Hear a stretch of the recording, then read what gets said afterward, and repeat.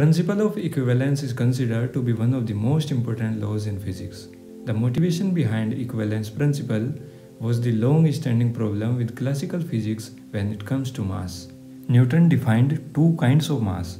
One was inertial mass which is described by Newton's second law of motion. Inertial mass is defined by force it requires to accelerate an object. The other was gravitational mass which is described by Newton's universal law of gravitation. Gravitational mass is defined by how strong and attractive force it exerts on the other objects.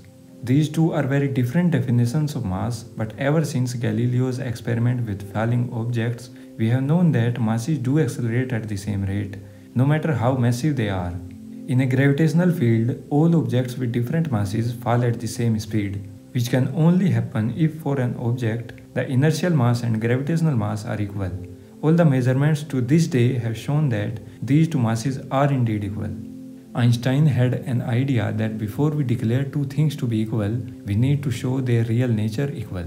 And his equivalence principle does the same. The principle of equivalence states that it is not possible to distinguish locally between a gravitational field and an acceleration. That means the ratio of inertial mass to the gravitational mass is constant for all objects in the universe.